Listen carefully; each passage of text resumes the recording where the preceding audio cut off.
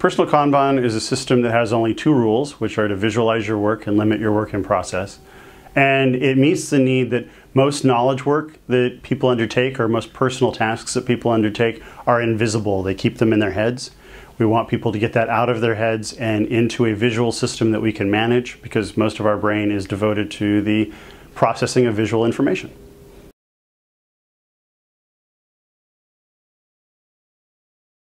When we're overloaded, uh, the first thing that we do is we feel annoyed.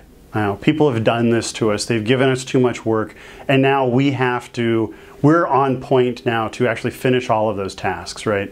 And so we start working on that and we're annoyed. And then we start to get frustrated with the people around us because they have a um, much easier life than uh, we do because we're the ones that have been put upon with this horrible work and we don't actually realize that everybody else is as overloaded as we are.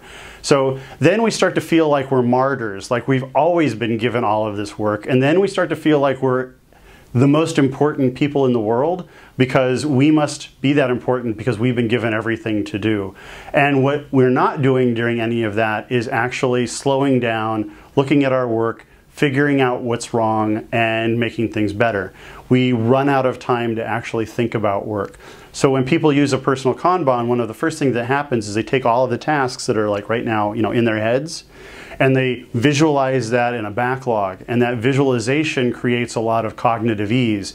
You've taken a lot of things you have to do out of your head and you've put it into a a cognitively pleasing shape into a kind of a rectangle. And you can say, okay, now I understand that these things are just options. I can choose what I have to do, and I know I can't do everything at once. Then the second thing is, rather than doing everything at the same time, we say explicitly limit your work in process, only do three or four things at a time. And then that gives you the capacity to finish stuff, finish the work you know, with quality, and be able to ask strong questions about did I do the right thing? Am I undertaking the right processes?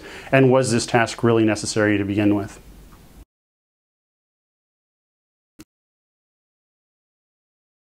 So the basic personal Kanban allows us to set up a quick personal or small team value stream.